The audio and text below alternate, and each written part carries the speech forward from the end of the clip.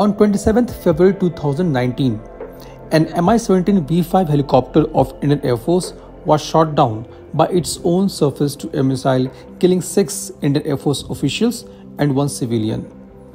The probe by Court of Inquiry revealed that the identification of friend or foe, that is IFF system, on board the helicopter was switched off.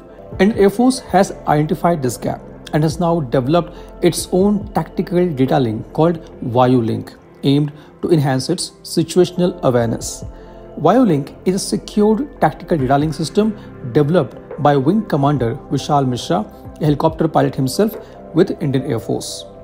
VayuLink is going to be an ad hoc or on-demand link which will link every asset of armed forces, be it combat or non-combat, through a single link.